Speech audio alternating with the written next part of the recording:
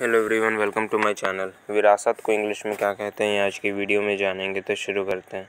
विरासत को इंग्लिश में इनहेरिटेंस हेरिटेज या हेयरलूम कहते हैं।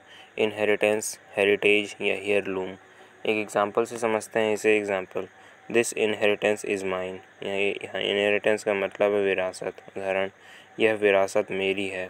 इसी के साथ आज के वीडियो में इतना ही। Thank you so much for watching my videos